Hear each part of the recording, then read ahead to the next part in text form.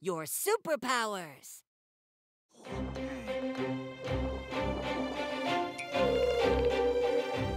We knew that there was trouble, that someone needed help.